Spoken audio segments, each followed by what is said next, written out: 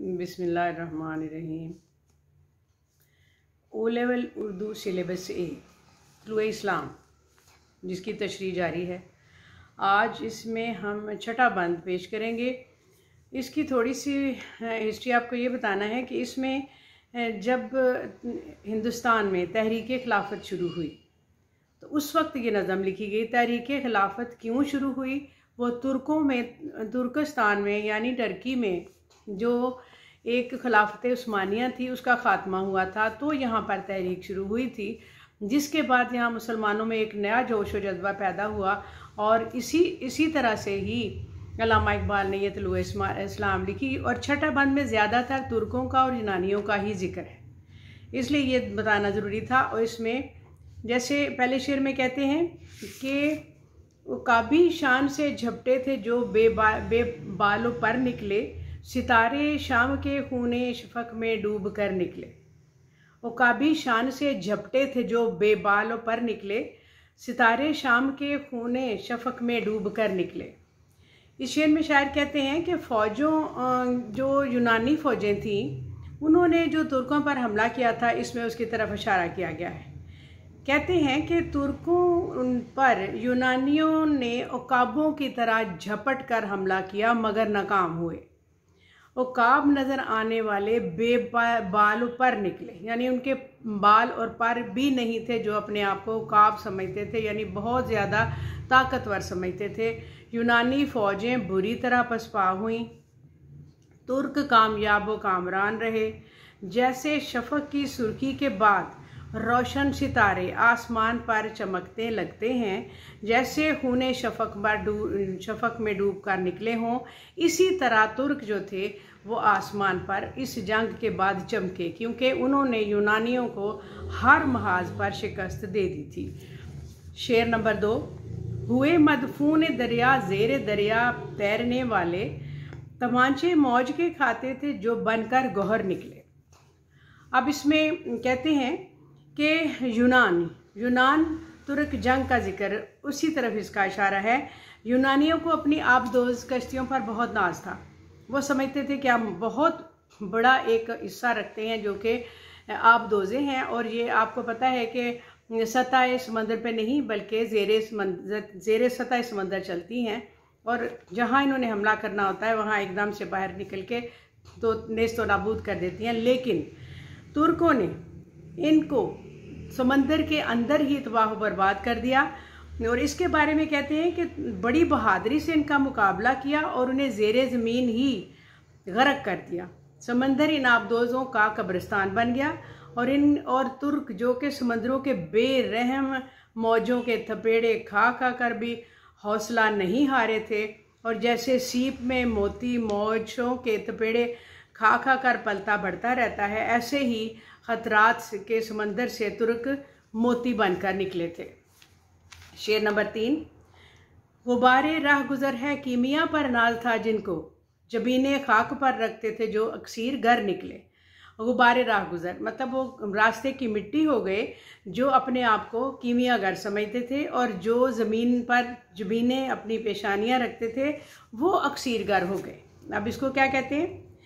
कि जिन यूनानियों को अपनी साइंसी मालूम पर बड़ा नाज था और जिनकी जदीद साइंसी मालूम इतनी ज़्यादा थी कि उस पर उन्हें फ़ख्र था और वो रास्ते का गुबार बनकर रह गए और इनके मुकाबले में तुर्क तो हीद प्रस्त, जो अपनी पेशानियाँ ज़मीन पर रख कर खुदाए बुज़ुर्ग बरतर की अजमत और बड़ाई बयान करते थे एतराफ़ और इकरार करते थे, वो कामयाब, फतेहमंद हुए सर बुलंद होकर निकले। जैसे कोई अक्सर घर सोना बनाने वाला कामयाबी हासिल कर ले। बेपना साजो सामान और वसाइल रखने वाले यूनानी नाकाम रसवा हुए और अल्लाह के हजूर सजदा रेज होने वाले तुर्क कामयाब व फतेहयाब हुए। अब इसमें शेर नंबर चार में कहते हैं, हमारा नरम रूह काशिद प्याम ज़िंदगी लाया, खबर देती थी जिनको बिजलियाँ वो बेखबर निकले। अब इसमें शहर में शायद यूनानियों को उनके पास जो मौजूदा बरकी आलात थे उसके बारे में कहते हैं कि उन्हें अपनी आलात और मवासलात पर बड़ा जदीद ज़राए पर बड़ा फ़ख्र था। वो कहते थे कि हमारे पास तो इतने बड़े बड़े आलात हैं, हमारा तो कोई मुकाबला कर ही नहीं सकता, हमारे पास इंफॉर्मेशन बड़ी है। मगर हमारा, कहते हैं, हमारा आहिस्ता चलने वाला कासिद, ज़िंदगी की खुशियों भरा पैगाम लाया और जदीद ज़राए रखने वाले, तेज़ रफ्तार ज़राए खबर साँ पहुँचाने वाले यूनानी बेखबर निकले। बरकी रो यानी टेलीग्राफ, टेलीफोन, के जदीद सहूलतें रखने वाले नाकाम और नामुराद ठहरे और इन ज़राए से महरूम, तुर्कों ने यूनानियों के दांत खट्टे कर दिए और समरना फतह कर लिया, जिसके बाद ग्लैडस्टोन के ख़ानदान में सफ़े मातम बेच गए शेर नंबर पाँच। हरम रसवा हुआ पीरे हरम की काम निगाही से, जवाना ने तातारी किस कदर साहिब नज़र निकले? कहते हैं, इस शेर में जो पीरे हरम है, उन्होंने कहा है, काबे के मतवली को और हिजाज के गवर्नर को, जिसकी बेईमानी नाअहली और कौम से गद्दारी ने अरबों को सारी दुनिया में बदनाम कर दिया था उन दिनों। और लेकिन तुर्क नौजवानों ने हालात का सही अंदाज़ा लगा लिया और हकीकत पहचान गए।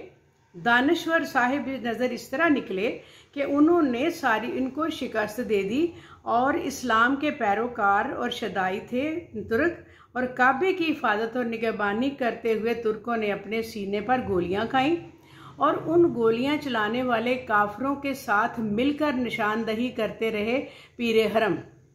हरम के मतवली उन दिनों। और निगहबानी करते हुए तुर्कों ने सीने अपने सीने गोलियों से छलनी करवा लिए और इसके बरक्स शरीफ मक्का जो था वो गद्दारी करता रहा। चुनाचे इस लिहाज से पीरे हरम की कम निगाही शायर ने उसे कहा है। और ये वाकई उसकी खुदगर्जी और नागपत अंदेशी थी कि उसने उस वक्त उन लोगों का साथ दिया जो कि इस्लाम के दुश्मन थे। शेर नंबर छः। ज़मी से नूरियान आसमां परवाज कहते थे, ये खाकी ज़िंदा तर, पाइंदा तर, ताबिंदा तर निकले। इस शेर में भी तुर्कों की ज़रूरत और बहादुरी का ज़िक्र है। कहते हैं, इनकी दानश्वरी बुलंद नजरी का एतराफ़ इस तरह से किया गया है कि ज़मीन पर सच्चे मुसलमानों से लेकर आसमान पर प्रवास करने वाले नूरी फरिश्ते भी तुर्कों की रोशन दिमागी, ज़मीर, रोशन ज़मीरी बहादरी और बुलंद नजरी की तारीफ़ करते हुए महसूस होते हैं। शेर नंबर सात, जहाँ में अहले ईमा सूरत खुर्शीद जीते हैं, इधर डूबे, उधर निकले, उधर डूबे, इधर निकले। अब सूरत खुर्शीद, यानी सूरज की तरह से जीते हैं ये लोग। इनमें तरीका जीने जीने का इनका ये है कि एक तरफ़ तो ईमान और यकीन रखने वाले कभी फना नहीं होते और सूरज की सी ज़िंदगी रखते हैं जिस तरह सुबह तलू होता है, शाम को गरूब हो जाता है और गरूब होता है तो किसी और बर आदम में जाकर तलू होता है। यानी कभी डूबता, सूरज नहीं डूबता, ज़मीन चक्कर खाती है। कहते हैं, एक बर आदम में डूबता है तो दूसरे बर आदम में उभरता है और अंधेरों को इस तरह दूर भगाता है सूरज। इस तरह मुसलमान है। इस तरह से वो जीते हैं कि वो किसी किसी कहीं पर अंधेरा नहीं होने देते, हर तरफ़ राहबर बनकर रहते हैं। इधर डूबते, उधर निकले, उधर डूबे, इधर निकले। शेर नंबर आठ। यकीन अफराद का सरमाया तामीर मिलत है, यही कुत है जो सूरत गरे तकदीर मिलत है।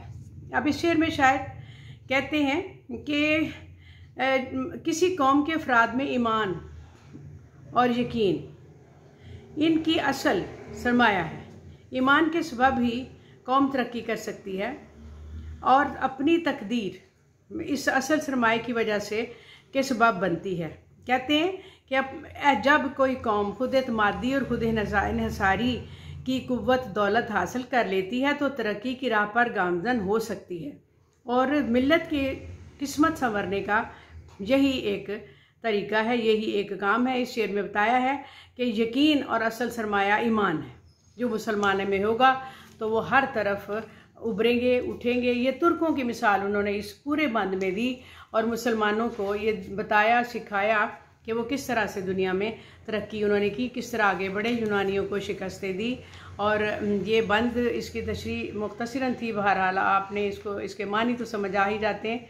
और अगर आप इसमें कुछ एडिशन करना चाहें तो कर सकते हैं। और लिंक करें, शेयर करें। अगर कमेंट्स आपको देना, अगर कोई बात इसमें ऐसी लगे जो आपको मज़ीद उसमें इंक्वायरी करना चाहें, पूछना चाहें तो आप कमेंट्स में लिख सकते हैं। शुक्रिया।